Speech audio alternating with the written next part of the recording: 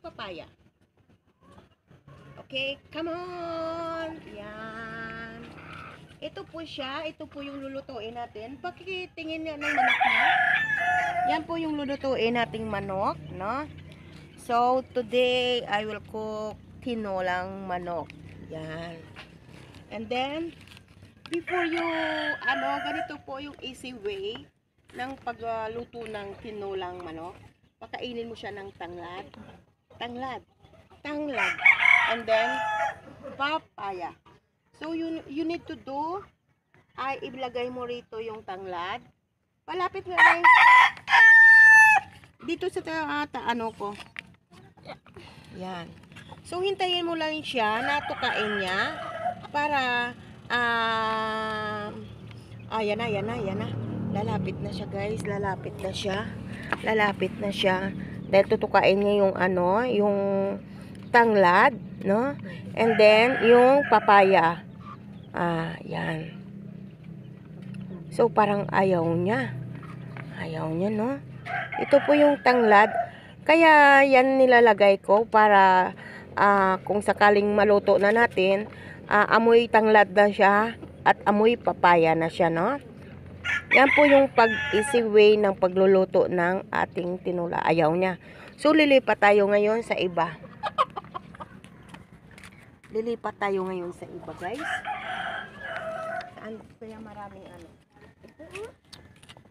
Ayaw ko yan, tandang kasi yan. Ito la.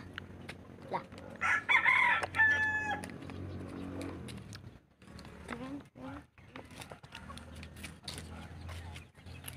Tandang yan. Ayun, marami siyang baby.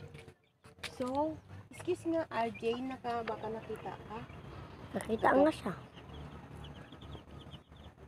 Gagapangin natin ngayon yung manok ng asawa ko. Manok na kulay.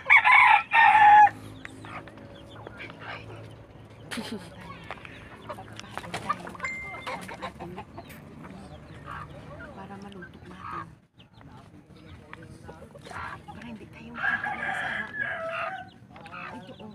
Malapit nga dahil yung manok natin dahil oh. Ayun, ayun siya, may mga baby siya. No? So, need to ay ipakain natin itong papaya and then yung tanglad. No? Para hindi na talaga siya mangamoy. Para ah, surely amoy papaya na talaga siya. At saka tanglad. No? So, ang kailangan natin ay kukunin natin yung manok para ma, ma makain niya talaga yung uh, fresh from the farm na tanglad at saka papaya. Alam niyo guys, mas maganda kasi ang tanglad kasi maamoy siya kaysa sa luya, no? Mas maganda kasi yung papa ay yung tanglad kaysa luya. Ito amoy na amoy talaga, laga mo lang to, no? Guys,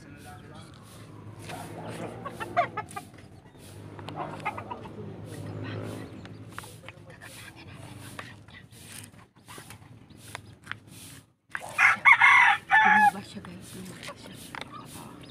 Doon tayo. Ayan na.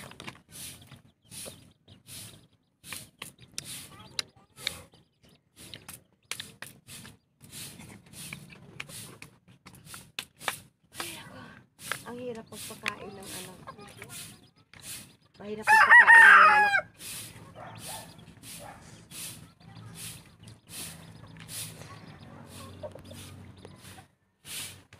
Laligtad. Hello Maria Dolores Lee. Nagpapasalamat lang ako kasi parati ako nananalo sa pag-games mo. Tsaka maraming salamat din sa mga sponsor.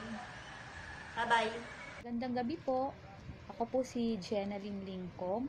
Isa po ako sa masugid na player ni Mamang Dolores Lee at isa po ako sa maswerteng nakatanggap ng ayuda na 300 pesos po. Ito po ay bigay sa akin ni Mamang Dolores Lee pandagdag po puhunan para sa aking maliit na negosyo. Ako po ay isang stay-at-home mom na nagtuturo sa aking mga anak kaya hindi po ako ngayon makapag-apply ng work. At ayun, binahagian po ako ni Mamang Dolores Lee ng puhunan para sa pandagdag sa aking negosyo. Maraming maraming salamat po sa lahat po ng nag sponsor kay Madam Dolores Lee. Napakarami niyo pong natutulungan at sana po marami pong blessings na dumating sa inyo. Maraming salamat po Mamang Dolores Lee sa pagsali sa akin sa inyong grupo. God bless po and more blessings to come.